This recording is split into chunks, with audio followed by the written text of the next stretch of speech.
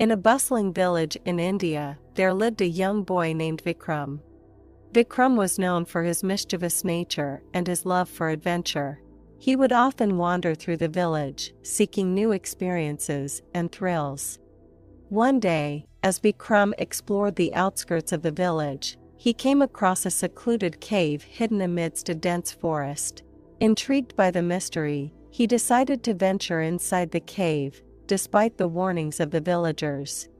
As Vikram entered the cave, he found himself in a dimly lit chamber. He noticed a sparkling jewel resting on a pedestal at the center of the room. His eyes widened with excitement, for he had never seen such a precious gem before. Driven by greed, Vikram reached out to grab the jewel. But as soon as he touched it, the cave rumbled, and a mighty voice echoed through the chamber, saying, You have awakened the spirit of the cave.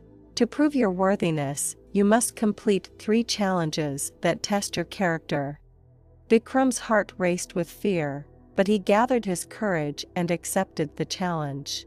The spirit of the cave presented him with the first test to overcome his fear of darkness.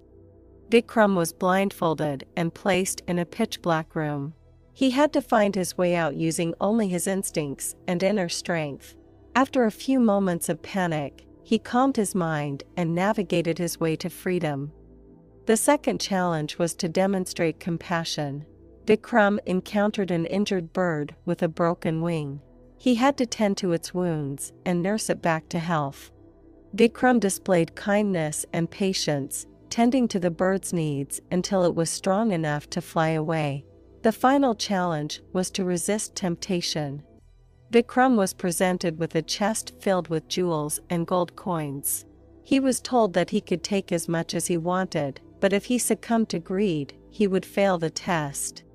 Despite his initial desire for riches, Vikram remembered the lessons he had learned and chose to walk away empty handed, proving his integrity. As Vikram completed the final challenge, the cave rumbled once again, and the Spirit spoke, You have proven your worthiness, young one. Remember that true wealth lies not in material possessions, but in the strength of your character. With those words, Vikram found himself back outside the cave, holding a small pebble in his hand.